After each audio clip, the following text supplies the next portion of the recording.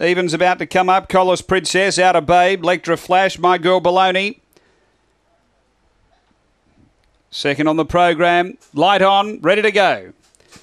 This is race number two at Gawler. They're set away and speed here from Collis Princess. It's being challenged by Outer Babe, but Collis Princess superior pace goes through the lead from Dinah Gabriella. Uh, Outer Babe and Lectra Flash still there. A couple away. Let's go Magic. Uh, then came My Girl Baloney from Crafty Doll, and back at the tail is Mr. Hopper on the bend though. Collis Princess clear of Dinah Gabriella. Collis Princess doing enough the fave, and Collis Princess beats Dinah Gabriella. Third is Crafty Doll, and fourth home Lectra Flash. They were followed next by My Girl Baloney from Outer Babe, Mr. Hopper, and uh, Let's Go Magic is back at the tail. 23 13 the run.